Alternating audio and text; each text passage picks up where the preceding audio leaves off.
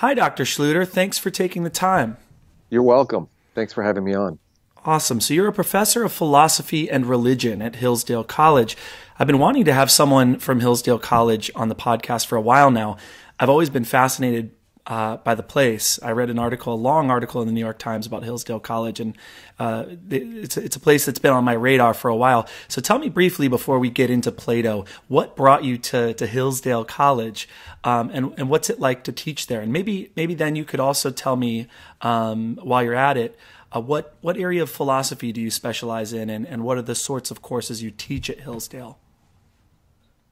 So I'll, I'll give you the abridged story there. I went to graduate school because I was I had large interests. I was interested in literature, I was interested in politics, I was interested in philosophy, I was interested in theology, and I was interested in how in how all of those are connected to one another. And so that's what I looked for in graduate school, and the only graduate school that existed at the time that offered that kind an education for that kind of interest was the University of Dallas which has a PhD program in literature, politics, and philosophy, and the different disciplines all take core classes together, uh, structured around the great books. So that's why I went to graduate school, and that's what I was looking for in a teaching position. And Hillsdale is one of the few small liberal arts colleges that still offers what at one time I think was a standard kind of education with a core curriculum, a, a mandate, a, a, sort of prescriptive core curriculum organized around uh, great texts and one which constantly sort of sought to promote conversation across the disciplines towards great questions that all those disciplines share. So I'm very grateful to be at Hillsdale, to be at a school which still takes that kind of education seriously. And I'm surrounded by colleagues that I admire and respect who share my interests and are very bright, bringing their own specialized knowledge to those questions. I learn so much from them. And I'm surrounded by great students. And I tell the students on the first day of class, my freshman, you're smarter than me, you're just ignorant. which is not which is not meant to be an insult to them. It's meant to kind of inspire them. They're really really smart kids and they know that they don't know enough yet, but they're really eager to learn. And so it's really a delight to be to be in that position to help them and um, so that's what it's like to be here. It's it's really I feel like it's a place that really reinforces my vocation. Yeah. So uh, one thing I wanted to touch on there, there's this um, attitude I think that's prevalent right now. It's it's something I've talked about with my colleagues, and and some of my colleagues have this notion that um, they, they say this all the time. Students learn differently. Students learn differently now. They learn differently now, and my response is always, well, students have different tools that they use to learn now, but I actually don't think that very much about human nature has changed in the last hundred years. Um, so, is there something special about the way the sort of the great books, primary source, um, Socratic method that you guys use at Hillsdale College? Do you think that that is still in the in the 21st century a relevant and important way to teach? It's a great question and obviously a big question. I do think that the change in technologies for delivering education have been very consequential. There's still a lot of questioning about the effectiveness of those forms of learning. I'm inclined to think that more traditional ways of delivering an education increasingly it's it's becoming clear that you just can't really replace the intimate personal contact that goes on in the yeah. classroom and that you cannot really replace the kind of furnishing of the mind that can occur by encountering great minds through great books. So another thing I tell my students on the first day of class is I'm not your teacher. in this semester, and they look at me with kind of open eyes. What, what do you mean? Am I in the wrong section? Poor freshmen. Sometimes they are. but uh, no, your teachers are going to be Plato and Aristotle and Shakespeare, oh, that's great. Dante and others. Uh, I'm just your tour guide, really. Uh, I, it would be presumptuous of me to think that I can teach you better than they can. But what I can do after a long experience with these great minds is to show you show you how to notice things, how to pay attention to things, and to learn yourself, to be able to teach yourself. I, I'm Platonic in this respect that I see education not as putting ideas into an empty mind, but right. as turning the soul towards the true, the good, and the beautiful. There's a turning process that happens that's very intimate and interior in particular to each student. And so they have to go through that process, each one for him or herself. Now, I will say this, though, that Hillsdale's a little different than some other schools. On, on, one, on one side of the spectrum, you have something like a St. John's College, in which it's a very uniform, very rigorous seminar style education, in which um, the role of the tutor is is really minimized. The tutor really is meant to be just a facilitator with each individual's encounter with that text.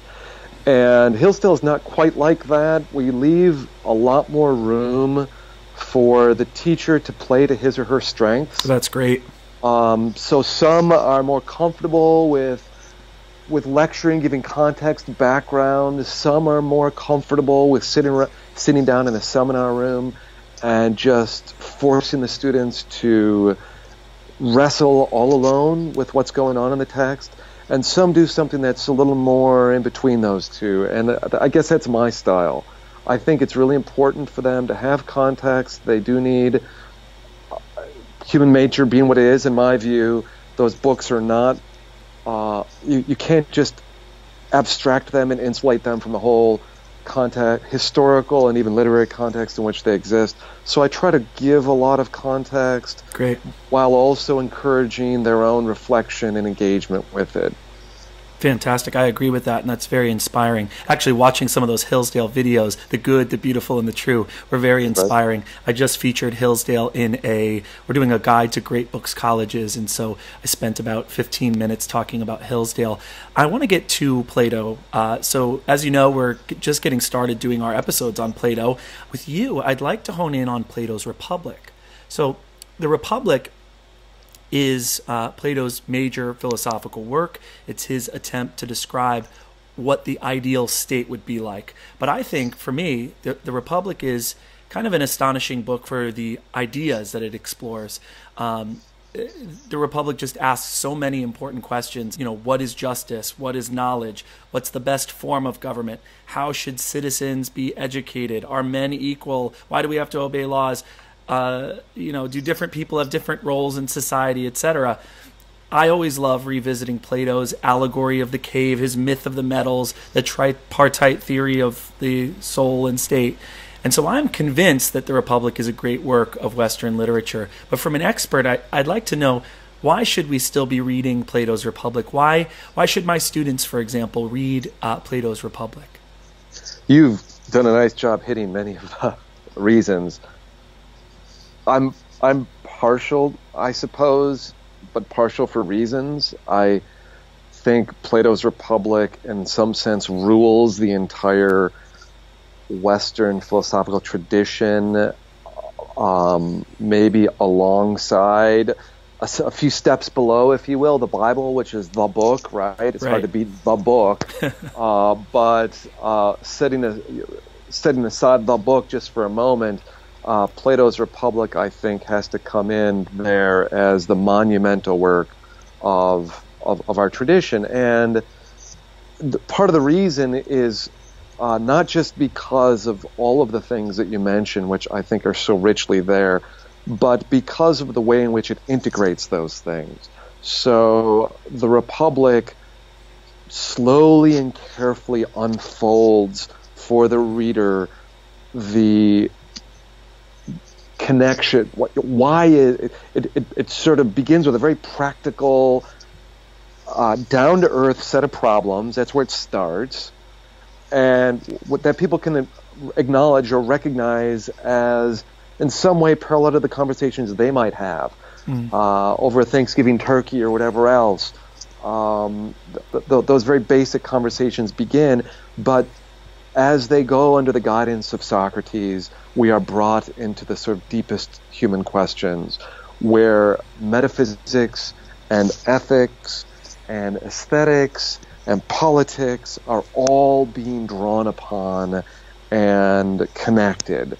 And so it's it's it's the great book because it's not just about one thing. Plato's dialogues tend to be each one focused on one particular topic. What is virtue? What is love? Right. It takes these different questions. But the question, what is justice, somehow in, uh, unpacking that unfolds all these other questions. I also think it's just a radically relevant book. It's so timely in so many ways. There's this view out there that dead white males are locked into their own particular time and place and gender and race and whatever else that we're all locked into these categories. Yeah, there's a very sectional, that, sectional, intersectional, uh, fragmenting sort of moralism going on right now. Exactly, and and it's partly why the great books aren't studied anymore because of the because of that ideology. Well, they're designed to lift us out of that tribalism. Exactly, exactly. That's exactly right. I mean, they are they are the thing that did that. The the discovery of nature, if you will, was the precondition for being able to transcend uh, the things that we see as obstacles today. So what we're seeing today, strangely, in attacking the Western civilization, made possible really by the West, is a return to a tribalism. But in the Republic, so radically, you, you get, I think, the most radical defense, for example, of feminism beyond what was imagined even until True. the 20th century. True. And you get a severe critique of aristocracy by birth. You get a severe critique of paternalism. This we're talking 5th century BC here, 4th, yeah. 5th century BC. The, he, Plato is showing us the possibilities for these claims of justice. He's also showing us, I think, the difficulties in, ma- in making those things your focal point of justice. So he's reminding us what the obstacles are in human nature to achieving, if you will, if, if those things, achieving perfect justice. So this book is sometimes considered to be a work of maybe the first work of utopian fiction. And it's sometimes accused of eliciting utopian longings and desire, hmm. which inevitably become dystopian longings and desire.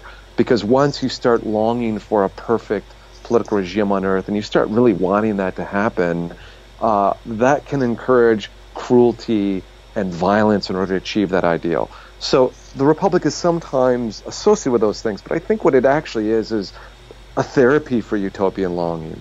It both shows us the roots of utopian longing, but then shows us what would have to be done to realize this. And so it ends up remind, I think, being a kind of stern warning against utopianism, precisely by doing that, not by preventing us from seeing the, those ideals out there, by showing us what those are, but by showing us also what it is in human nature that makes those ideals impossible and possibly even dangerous. So I read it actually as an anti-utopian work of fiction, and I, you know, and I called it an, a work of fiction. There, I think that's really notable. Why is that? Yeah. So this to me is really important. Why is it that Plato only writes dialogues? Mm. And what is a dialogue? It's striking to compare, and my students do, compare the style of Plato to Aristotle, for example. And Aristotle is writing treatises. They read like academic lectures right. that students are maybe more accustomed to. Whereas from the get go in, in, in, Plato's dialogues, you get a list of dramatis personae. you know, the, the, these persons of the drama, mm-hmm. and you get then those persons uh, in conversation with often a setting and an action. They're in a particular place or in a particular time. A question is raised. They're referring to previous events. The, the text itself reads like a work of fiction. And that raises great questions like why does Plato embed his philosophy in fiction if that's what he's doing? And that is actually a cue, it seems to me, that we needed to pay close attention to it as a work of fiction. That is, we need to pay attention to the characters, to the drama, to the conversation, the historical context. Mm. And we're warned then, I think, not to simply l- try to lift the philosophical claims abstractly out of the text and to universalize them and make them a kind of Platonism, gotcha. which is really what I think Neoplatonism does. Hmm. When you get into the Neoplatonic period, Platonism has become hardened into a whole metaphysical picture, whereas in the dialogues themselves, that picture is presented much more playfully, mm. much more contingently, much more speculatively, with an attention to actual human beings who are trying right. to understand this. And so I think it's really important to recover Plato as as philosophical literature, if you will. Uh, and that's how we read it in my class. We're we're very attentive from the get go. I mean, the, the, the characters in the first book of Plato's Republic are so colorful they're delineated with so much color. Mm-hmm. You get you get Cephalus, the old man, who's coming in from the sacrifices with a wreath on his head, and he's talking about how difficult old age is, right. and they have this wonderful conversation about aging. And then you get his son who jumps into the conversation, and Cephalus leaves, and his son. There's a little bit of anxiety about this question of justice because he's the one who's inheriting the wealth and he's a little worried about whether his wealth is justified. And they have this conversation, and then, of course, this character Thrasymachus comes in, and he's described like a lion, like a wild beast, and everyone's holding him back, and he's listening very impatiently. Undergraduates can imagine this. Right. Some of right. them are like this. So yeah. I said, you, have had your late night dorm room conversations. Do you know any Thrasymachus? Yeah. Some of them blush because they are the Thrasymachus. They can't patiently sit in a conversation when they hear things that they think are ridiculous. They're just so eager to jump in and assert what they know to be true, and they want to be heard, and they think they've got the answers. So Thrasymachus right. jumps in like a wild beast and we all know people like this. Oh, I'm like that. I told my yeah. students this because we're we're not up to the Republic yet in my philosophy class. Uh, we started with ethics, and so now we're we're using uh, Socrates and Plato to get to launch us into metaphysics. So we're about to do the Republic, but I was teaching hey. them the Socratic method, and uh, I was just trying to describe the patience that it takes to be Socrates, to use like reductio ad absurdum, and to ask these narrowing, these gradual narrowing questions that eventually befuddle uh, your interlocutor. And I said, I can't do it because I want, I want to prove my opponent wrong by saying something right. affirmative right away. right. Yeah, that's a that's a great self observation, and I share it. It's it's it's it, it, it's my own self knowledge as well as a teacher because Socrates is a consummate teacher, yeah. and what he knows he needs to do is get Thrasymachus in a place where he will shut up and listen, mm-hmm. and so he doesn't just start off giving a discourse on justice. He lets Thrasymachus do that. And so Thrasymachus thinks he knows, and he begins to sort of ask questions of Thrasymachus and it turns out Thrasymachus can't really give a coherent account of the thing that he thinks is justice. So, can you frame that de- that debate that they have? What that's a very famous moment in the Republic, and it comes early on. What are they What are they wrestling about? So Thrasymachus jumps in. Uh, there's a, there's a prior argument about uh, what is justice, and Socrates uh, wants to uh, initially show, initially Cephalus says, Cephalus or Cephalus, depending which pronunciation you want to want to use argues that justice is telling the truth and giving back what one owes. Right. And so Socrates locks in on to giving back what one owes, and he says, "Well, what does that mean exactly? Uh, so does that mean that if you give someone a weapon, someone's entrusted with a weapon, and they come back asking for the weapon, and you know that they're planning to do harm or violence with that weapon, are you obliged to give it back? Right. And it's a famous kind of question, and that's precisely the point where Cephalus says, um, "No, I don't think so." And so Socrates says, "What's so giving back what one owes can't be just giving back what people have." And by the way, that's a funny moment with my Hillsdale students who are to come in pretty committed to property rights and to the Second Amendment. Right.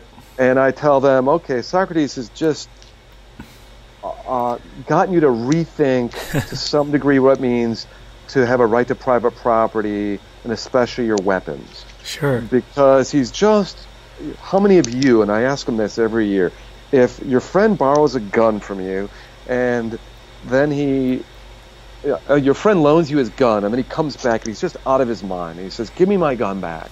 I'm going to go shoot someone." Do you are you obliged to give him the gun back? And not one in ten years has said yes. Right. But I say it's his gun, right? You know, look what you. It's his property, number one, and it's his gun, number two. You don't think so? Why not? Why are you? So and, and, and so that leads you to think that property rights and weapons might be contingent upon having a certain kind of knowledge and moral virtue and responsibility. Sure. And suddenly that becomes kind of a dangerous question. Mm. Because, wow, how are we to measure that? How are we to evaluate who is responsible enough or wise enough or virtuous enough to have, possess property, especially weapons? You know, so that set of unresolved questions. So Thrasymachus is getting fierce. Now, Thrasymachus um, by the question he asks. What he comes in is he says, "You guys are all just." This is typical of Socrates. He asks questions. He doesn't say what justice is. He's very frustrated. He's one of these people who likes clear answers, and, and so many people are like this, right? Right. Why am I Why am I reading this book, asking all these questions without telling me what to think? I just want yeah. a neat black and white answer. But he thinks he's got the answer, and he says, "I'll tell you what it is, but you're going to have to pay me." which is striking, right? yeah. Um, but that's a kind of clue for classicists that Thrasymachus is a sophist. Sophist, yeah. Which means that he is a professional teacher who takes money to educate young men about how to succeed in politics. Right, how to use rhetoric to to to uh, to gain power, basically. Exactly, particularly to use rhetoric. And so Socrates is just so brilliant, right? He says, I don't have any money.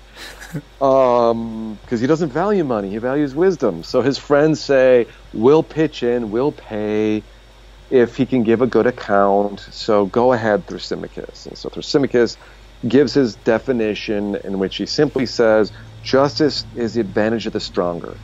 Right. That's all it is, it's the advantage of the stronger. And so Socrates goes through some uh, gymnastics, one of them being, there are several, but one of them just obviously being, well, what if. Uh, so this is someone, might makes right, correct? Well, that, that's the argument he makes. That's right. Might makes right. Socrates asks the question, well, what if the person with might doesn't know, makes a mistake about it, about his advantage? Right what if you think something's his advantage, but it really isn't? And Thrasymachus, you know, goes through his set of answers, you know, replies to this. But it, if you, if I always ask my students to outline the argument, what what are the premises? What what what are the problems with the argument that Socrates is bringing up? And it turns out it's it gets kind of convoluted. And the thing that Thrasymachus cannot let go of is that he's an expert in his art of rhetoric. And he's also an expert in, but given his definition, knowing his own advantage. And these two kinds of knowledge end up being in tension. So, what I want to say here to you, which is important, is that Socrates, in his arguments with Thrasymachus, is not entirely fair. What he wants to do is to get Thrasymachus to just kind of be quiet for a moment, to at least come to a place where he says, I don't really know. I don't right. know the answer. Right. It's, it's more complicated than I thought. So he uses some strategies that are that to the students look very sophistic actually that they look like the kind of thing a sophist would do and at the end of that thrasymachus blushes which is a brilliant little move it says you know i saw something i never saw before thrasymachus blushed it's just one line and i say to my students what a brilliant line yeah what does what does it mean to blush Nietzsche describes defines man at a certain point as the beast with red cheeks. Or, you know, that's not the conventional definition of man, but what does it take to blush? Right. It takes a conscience, at least in part. It takes a kind of awareness, a sh- sense of shame, the sorts of things no other animal blushes, only man blushes. Right. And it means that he has reason in some f- sense and his reason can be corrected. Anyhow, Thrasymachus, he gets Thrasymachus to be quiet, but at the at the end of book one, Socrates says, "I was a glutton. I just sort of went after all the desserts here. I jumped at all these arguments and made them, but I don't really quite know if I believe them, and I'm really not any further along in knowing what justice is than when I began." And so you, you get the sense at the end of book one that it's been a kind of brilliant car crash um, it's it's had all these fireworks in it, and there, there, there's been these moments of brilliant insight. But at the end of it, what have we accomplished? Well, he did. He did knock down a pretty scary argument, the idea that might makes right, and then, he, as you pointed out, he says that basically, you know, those in power can make mistakes, and if if they can make mistakes, they can make laws that are not in their own interest, and right. to obey those laws is not to act in the interest interest of those in power, and then he, you know, thus to be just is to do what is in the interest of those in power, and to be justice to do what is not in the interest of those. So you're right; it's brilliant. Yeah, yeah, he he hits these various contradictions in Thrasymachus, but but the striking thing is, it seems to me that at the at the very beginning of book two, then book one could have just ended the Republic, right? But at book two, Socrates is is is with this guy named um, Glaucon at the beginning of the Republic. Mm. Again, he and Glaucon go down to the Piraeus, which is this port city in Athens, where there's a new festival. It's just a brilliant setting. Every detail matters. And I, I won't go into that, but you know, something your, your listeners should know. Every detail is just saturated with meaning in this book. Mm. So he's with Glaucon at the beginning, and Glaucon comes in at the beginning of book two and he says, Socrates, do you, do, do you really want to persuade us, or do you just want to seem to have persuaded us? And Socrates says, Well, I really want to persuade you. And Glaucon then shows why he is the deeper thinker than Thrasymachus. Because he says, Well, Thrasymachus, he didn't make the argument very well, but he's got a really good point. I, I, I hear all these people say that tyranny really is the best thing. Like if if you could really get everything you desired, you, all the women, all the money, all the power, everyone really would want that. The only reason they don't pursue it is because they might get found out. Right. You know, they, they might get ashamed. You know, if, if they could do this without being discovered, deep down, that's what people would want. And so he goes through the arguments that I'm sure you know, using, say, the Ring of Gyges. Ring of right? yeah this again this sort of brilliant little imaginative device for getting us to sort of deeply understand human nature. If you could have an invisibility ring, hmm. how would you act? Right. And I kind of wink at my students. Did you ever hear of an invisibility ring? Wink, wink. uh, yeah, they all, all my students, at least at Hillsdale, are big Tolkien fans. Right, so right. they, they immediately make that connection. I say, oh, it's interesting, right? But uh, Glaucon presents the a, a just amazing defense of tyranny, and then his brother jumps in and and, and complements that by, by adding various things to it, so that at the end, Socrates, boy, he say, he says after he hears them, boy, you guys, I'm surprised you're not tyrants. you've made such a good argument. You must have really good character to see how persuasive the case is for tyranny, but to not be pursuing it. But these are really important arguments. I don't know really how to defend myself perfectly, but it would be impious of me not to try. Which I think is a striking choice of words. Because if you remember, Socrates is put to death for impiety by the city of Athens. Right. And that's sort of the singular event that haunts the entire dialogue. It's written after the death of Socrates, but it's set before his death. Mm. And what Plato seems to be saying is Socrates did not corrupt Athens. Right. Athens was already in bad shape. They were already inviting these foreign gods in, and look at Thrasymachus and the defense he's making of justice as might makes right. And then look at what even good people like Glaucon are making because they're hearing it from everyone else. Right. That is, you a very, you've got a very dangerous ideology that's already permeating Athenian culture. And Socrates says it would be impious of me not to come to the defense of justice. So it seems to me very likely that Plato's Republic is really Plato's true defense of Socrates. Not the defense he's forced to give in front of the Athenian assembly, where he's just awkward. Right, right. He just, he just it's not his way of conversing. He doesn't think the sort of compelled sorts of witness arguments that you get in a law court are the sorts of venues in which truth telling in any deep sense can be done. Gotcha, yeah. And so Plato's apology is really uh, interesting in lots of other ways, but not because you're getting Socrates, Plato's deepest defense and understanding of who Socrates is. So, so well, one of the things the, the Republic, yeah. One of the things that I love about the apology, if I remember, it's been a really long time, but uh, I could have this wrong, but I remember there there being some kind of defense uh, on the part of Socrates where he says something like the philosopher should have the right to put things out there. That there's a sense in which um, it's actually really important to be able to put put ideas out there to test them out uh, and and ping pong them off someone else to try to figure out what's true. Do I have that anywhere near right? well, yeah, that may be there. Um, what, what stands out to me in his defense is that it, it, again, it's rooted in this very particular story.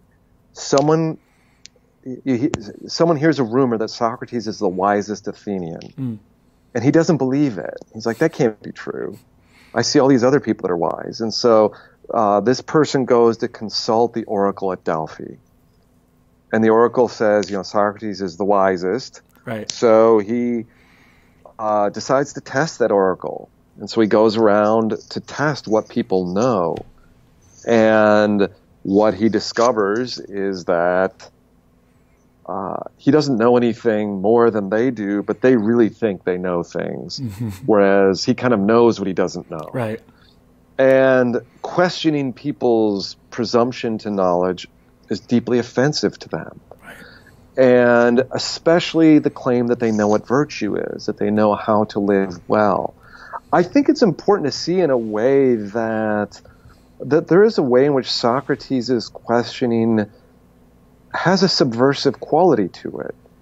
I mean, it, it seems to me that um, w- one can argue that at least to some degree, um, a, a, political regime requires people who are attached to that regime.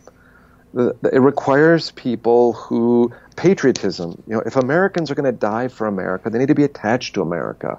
They they need to see things there that they are willing to die for, mm-hmm. and so you have to be careful about getting them to become just philosophic, you know, philosophically speculative about well, you know, maybe.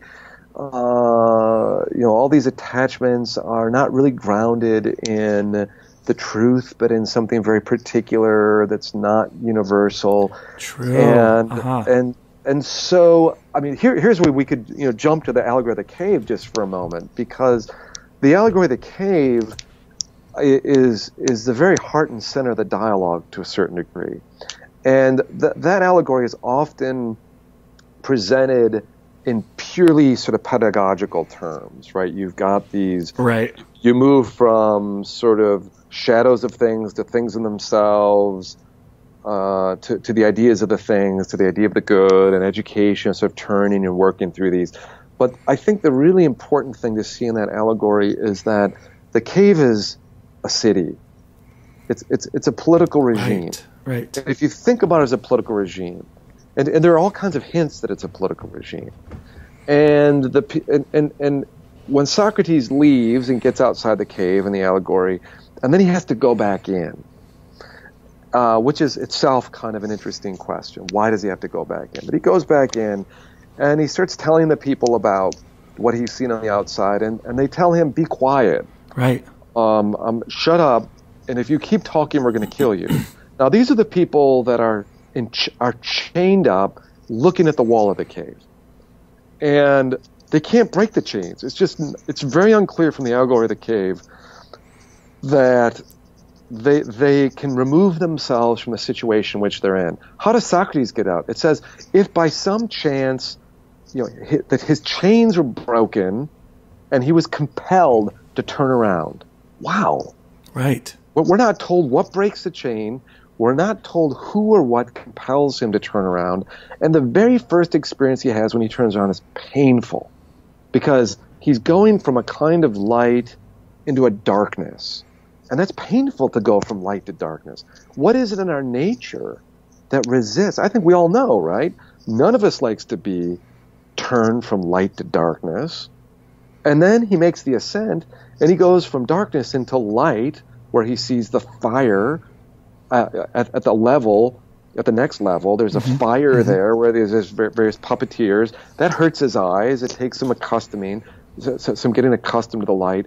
And then there are these people who wow these are the people casting the images onto the wall of the cave.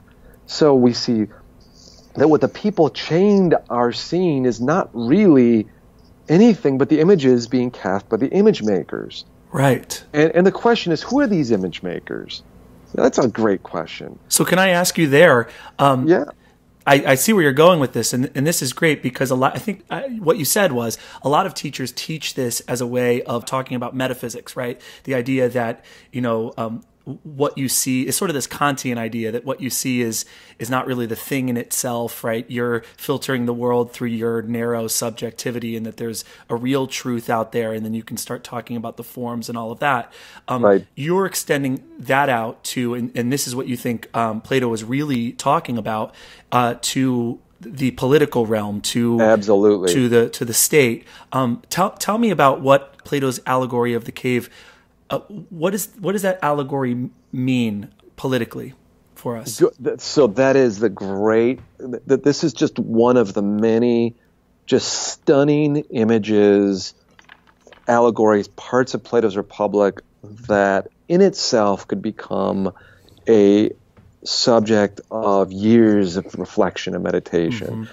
So, so let me just say this: that this is just one of the beautiful things about Plato's Republic that the way learning, real learning happens, is not just confinable to a simple definition.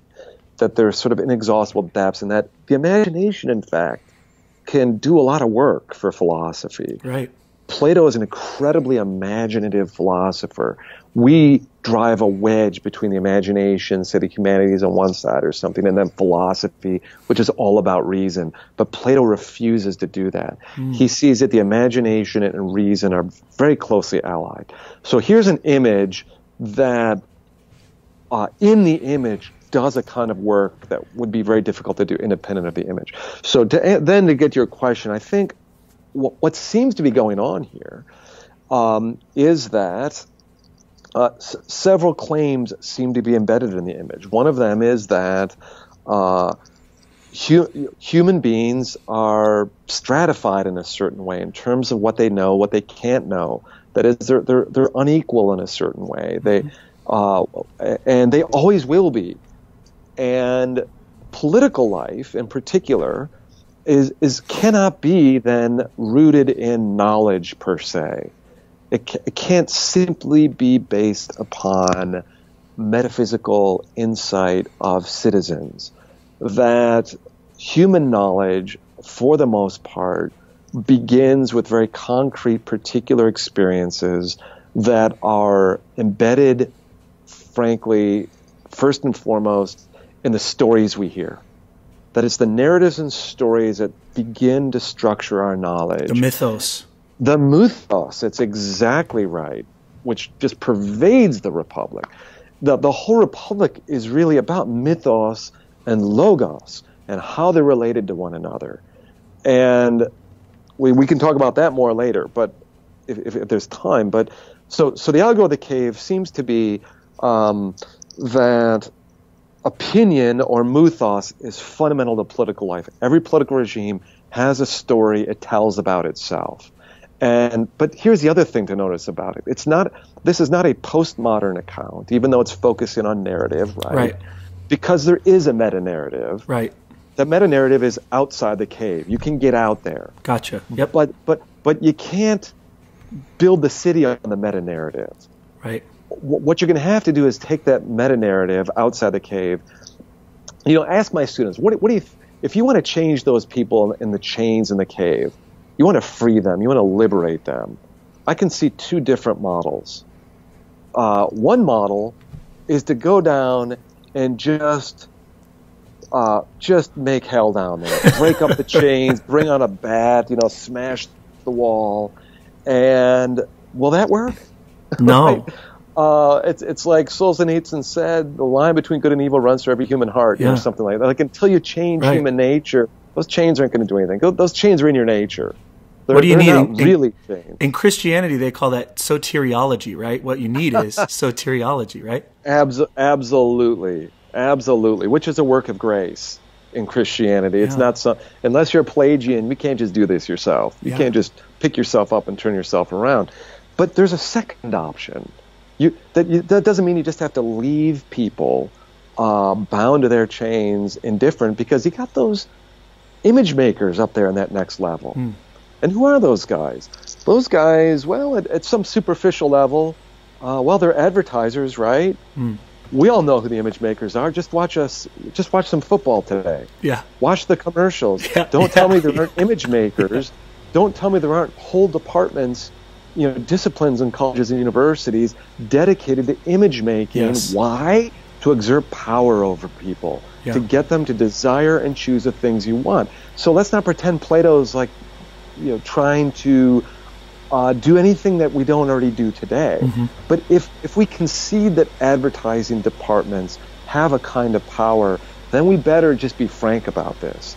That that so much of our political lives, our moral lives, our say commercial economic lives are framed by images, and then it becomes hugely important what kinds of images we are being given. That's right. And is it not the case, and I think it clearly is the case, that some images come closer to being outside the cave mm-hmm. than others? Mm-hmm. So not all images are created equal, to uh, make a turn of phrase in the Declaration of Independence. Um, so presumably what the people outside the cave can do, they can go in and, and you know, break up the whole thing, and that's what you have in the French Revolution. Right. I think exactly. You break all the chains, you create chaos. Uh, another option is to become a great image maker, to work at the level level of images. What images can I cast upon this wall that are going to do the most to liberate those people in chains, to see in and through the image towards something like what's outside the cave? How can I draw them out as far as possible through the image? So, what I tell my students is not all caves are created equal. You know, if every political regime is a cave, not all caves are equally cave like. Right. Because the mythos of the cave can have more or less logos in it. Right. And my view is that America is a is a is a, is a mythos that's deeply permeated by logos. Right. That is, we have a mythos which tells us there's a logos. Yeah, and, and you a, can't get to the logos without the mythos. precisely. That is exactly it. But what a claim to make, right? Right. What what what a claim to make in light of if that's true, then the whole way we taught we do philosophy today is off. The whole thing's off. And the way we do literature is off because we hermetically seal these things from each other. Right. Like literature is all about, you know, uh, creativity and imaginative, um, you know, constructions, which you know, depending on which English departments you're talking about, are be, being deconstructed. Whereas philosophy is all about uh, sort of rational asking of questions. But Plato is giving us only literary dialogues in which he wants to show us that philosophy, that, that muthos and logos are fundamental to human flourishing. And we've got to see how they're united in our lives. Oh, this uh, whole conversation here is reminding me of you sent me uh, some information about uh, what uh, version of Plato's Republic I should read, and I was really happy that you said the Allan Bloom one because that was the one that I had. And um, I had not read Allan Bloom's version. I'm slogging my way through it now. It's beautiful, um, and I'm I'm taking this quote that I want to read to you, and I want to I want you to respond to this if you can um, from the essay at the end, his famous essay at the end. And what you're saying reminds me of this quote. He says, The Republic is Plato's defense of philosophy. The philosopher studies nature, particularly the heavens, and there he finds a true account of the celestial phenomena differing widely from that given in the religious myths. For example, he learns of a purely mechanical explanation of Zeus's thunderbolt. The philosopher's contemplation of the heavens dissolves the perspective of the city, the laws of which now seem to be mere conventions with no natural status.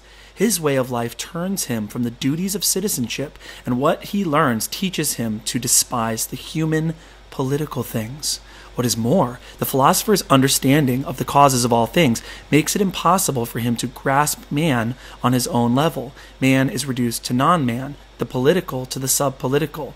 The philosophers are alienated from the human things, which only poetry can reproduce. And I could go on with that uh, beautiful yeah. essay, but I'll stop it there. Yeah. Um, how, yeah. do you res- how do you respond to that? It reminds me a lot of what you what you're talking about with the cave allegory.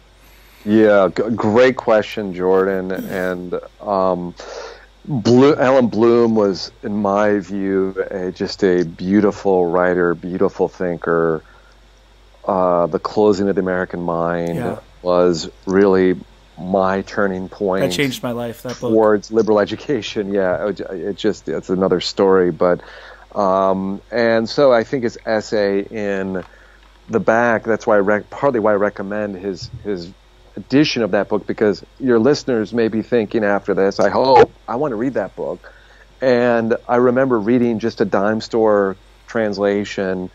Uh, after on my own, after I'd read Bloom's uh, Close the American Mind. I didn't know he had a translation. Yeah. And it was very difficult. I really just did not know what was going on. uh, uh, it's very hard. You, you can't That's just me. say, say, read this book and uh, you'll be changed. It takes a lot of patience, and yeah. I think it takes some direction and guidance. And so Bloom gives you that. It's a real gift, uh, his edition. That being said, Bloom has a conception of philosophy that I think is controversial and somewhat pivotal. So pivotal in the sense that um, it, it, it, it, forces you to sort of make a decision one way or another how you think about the achievements of philosophy. If you read The Closing of the American Mind between the lines, um, it, it's funny that the book was really embraced by evangelicals when it came out um, as a kind of defense of of what they held to be true. And there's a lot to that. But if you read between the lines in an American Mind, uh, what you see is that what the philosopher, what Bloom's philosopher ultimately discovers is that his particular life is meaningless and that the cosmos is indifferent to human life. That uh, a personal God is unlikely. Certainly, a relational God is unlikely that arguably elements of the mechanistic view of nature and the world are true. And so the philosopher ends up, what, what characterizes a philosopher is not any acquired insight into uh, what is true, good, and beautiful, but just a kind of pleasure of erotic desire to know and you know to, to pursue the big questions and at least just to know that they're not deceived by the myths. Right. And so that's clearly not the Plato that, say, the church fathers pick up on or that the Neoplatonists pick up hmm. on. Right. And so th- this is j- eh, just kind of a question to pay attention. No, nor is that my Plato, though I think I can see how Bloom could read Plato this way. I, I don't. I, I think it's a particularly Nietzschean way of reading Plato. Right. That that Uh, makes uh, a lot of sense because what I get from that passage is he is saying the philosopher is one who is able to see through the the myths. There's someone who is able to see through the mythos. And but but my question for Bloom is well what then? What next? And for Nietzsche Exactly. it's it's well okay fine, but how do I create my own values? Right. That's that. that so we you know, we could do a whole podcast on Allan Bloom, and and it would be fruitful, but for, all of Bloom's incredibly rich insight, I think at the end of the day, he has um, something of an agnostic, uh, po- possibly Nietzschean read on Plato. Now, my view is that doesn't have to uh, undermine all the great insights and things that just you know, that just leap off the page Yeah. of, of Bloom's essay. course. And by the way, that does I don't think that sullies his interpretation either. His translation, I mean, uh, that is Bloom's view is what he tries to do is to be accurate and consistent in his translation. So the same words he translates the same way each time. He tries to avoid using idiomatic expressions uh, in the translation, and then he adds footnotes to sort of say what the words are that he's translating. And so you feel like he's as much as possible trying to remove himself from the translation. He's not trying to assert through his translation his own philosophy. Uh, I don't think. But I guess what I would say is that, um, on the one hand, there, there's something hugely important about what Plato's doing in the Republic. The, the, the poet that rules the Republic is Homer, with Hesiod as well. And uh, what Socrates seems to be arguing is Hesiod and Homer are not very good poets for human flourishing because look at how they depict the gods. Uh, the gods are fighting with each other, having sex with each other, having adultery, Right. having you know, uh, fornicating with human beings, starting wars. These are just not very godlike gods. Right. And insofar as human beings imitate the highest things, um, these are not good models. Nor are their heroes good models. Look at what Achilles does. He's, you know, he gets grumpy. He uh, he abandons his people because uh, he thinks he's been slighted. And then when Patroclus gets killed, what does he do? He slaves Hector and drags his body around for three days with a chariot. That's Yeah. not very good.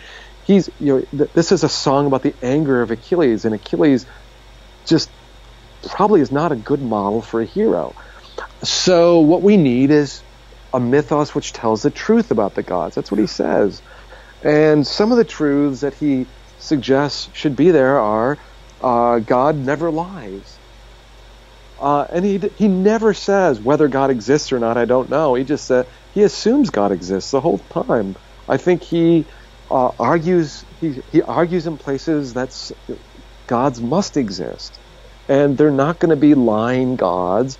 Uh, he even suggests that there must be one, one God, multiple God. He hints at that, that that having plural gods in some way is incompatible with divinity. So you know, my sense is that you can te- that, that that you can make that Socrates that Plato makes a lot more sense.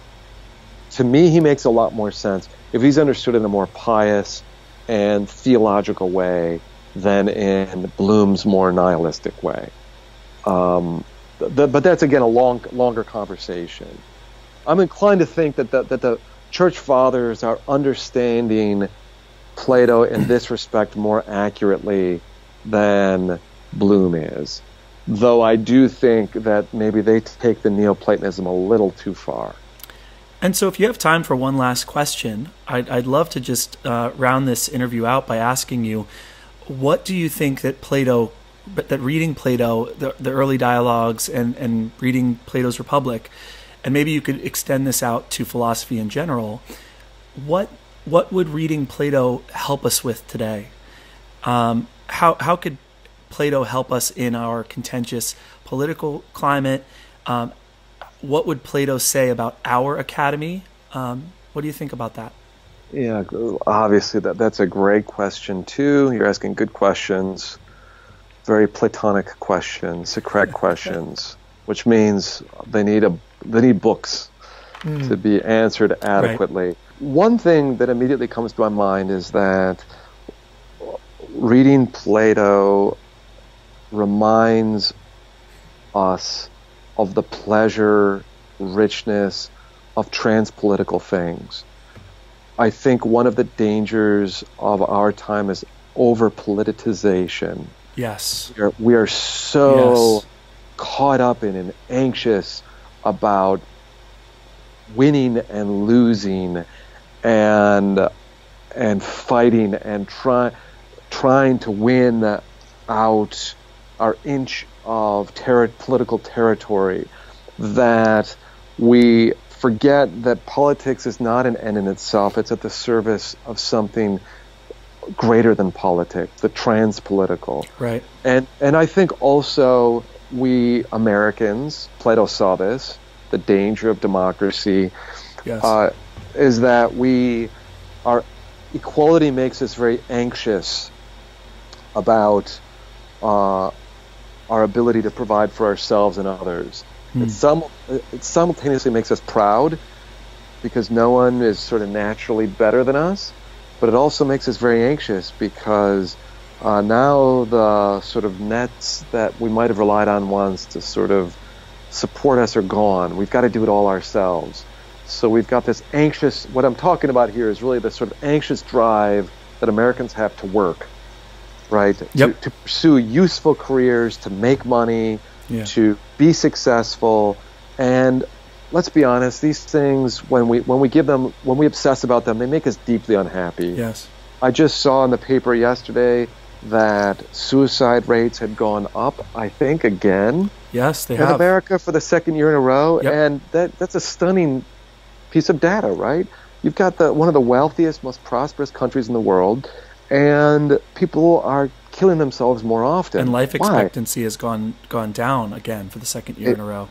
Exactly. Well, a lot of that has to with has to do with opioid abuse yeah, and yeah. and these other things. But again, that just begs the question: Why? Why are we uh, doing this? And uh, there are lots of reasons. They're complex, but I think uh, Plato, reading Plato, reminds us of the good of leisure leisure is not just hanging out, not working. I mean the leisure of pursuing what is truly rich and meaningful that we yes. hunger for. So he does that. Just on the face of it, it's just rich to do that. But I would just say, secondly, that uh, Plato, in his writing, substantively provides us the, a deep knowledge about human nature, about the scope and limits of human longing, human desire, a full picture about our desire for love, about our fear of death, about our, our, our, longing for transcendence, about the limits of the body, these things that we just don't want to pay any attention to do you know, to today. They're just sort of off our field, but they're so present to us, right? In our experience, yeah. we don't have any fora, we don't have any means for thinking about and making sense of and talking about the things that are so deeply present in us. We all want to love and to be loved. We all fear death in some way. We all are insecure.